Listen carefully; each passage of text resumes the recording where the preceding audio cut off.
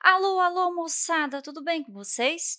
Você sabe o que é um RNA não codificante? Um RNA não codificante, ou abreviado em ncRNA, é uma molécula de RNA funcional que, na verdade, pula a última etapa e não é traduzido em nenhuma proteína. Ou seja, logo após a transcrição, esse RNA já desempenha qualquer função vital da célula sem a necessidade de ser traduzido. Há muitos exemplos de RNA não codificante, como, por exemplo, o microRNA, o RNA ribossômico, RNA transportador e por aí vai. Comecemos com os microRNAs. Os microRNAs ou abreviada em miRNA, funcionam na regulação transcricional e pós-transcricional da expressão genética. Eles fazem isso pareando as bases com sequências complementares dentro das moléculas do RNA mensageiro, que também pode ser abreviado em RNA-M. Isso geralmente resulta no silenciamento do gene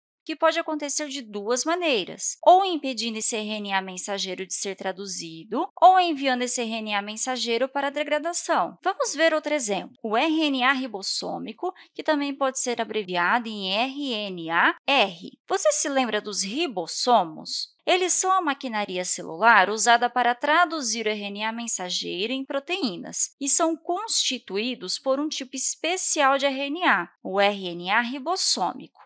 Outro tipo de RNA é o RNA-T ou RNA transportador, cuja função é ser uma molécula adaptadora que carrega os aminoácidos correspondentes aos códons no processo de tradução do RNA mensageiro. Há também o pequeno RNA nucleolar, abreviado em SNO-RNA, uma classe de RNA não codificante que conduz modificações químicas covalentes, principalmente metilação, que é a adição de grupo metila, e pseudouridilação, que é a adição de um isômero do nucleosídeo uridina no RNA transportador e no RNA ribossômico. Outra classe são os pequenos RNAs nucleares, ou abreviado em snRNA. Não confunda com o exemplo anterior.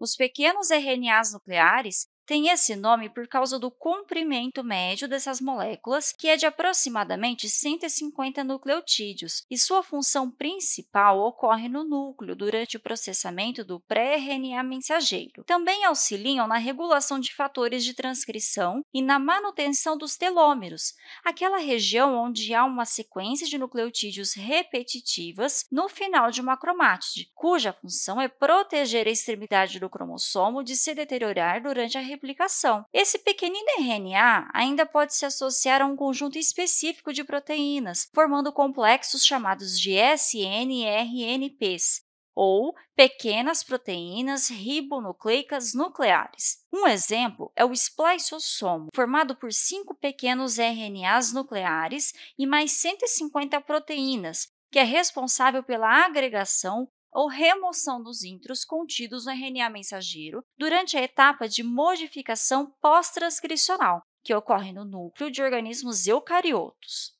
O spliceossomo se liga a sequências específicas na cadeia do RNA pré-mensageiro e realiza reações sequenciais de transesterificação, que agrega o intron e depois une os dois exons para formar o RNA mensageiro maduro. Bom, por hoje é só. Bons estudos e até a próxima aula!